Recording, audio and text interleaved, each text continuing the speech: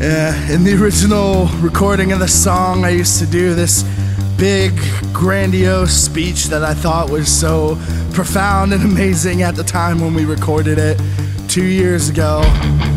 Well, probably more like three years ago. Um, I feel like we as a band have learned a lot and grown a lot over these last two years. And I'm so, so thankful to be in a group playing music with my best friends. And I wouldn't trade it for the world. And uh, thank you all for listening, and we can't wait to see what's next. Even in death,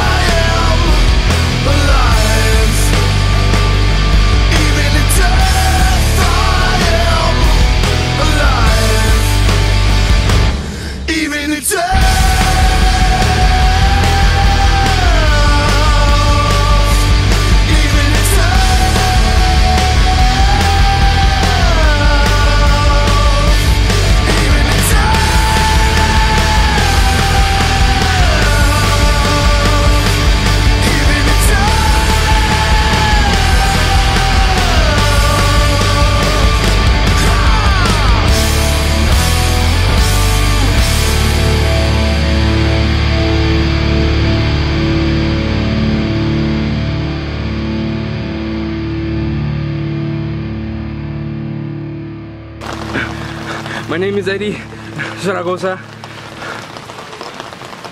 Ma, te amo.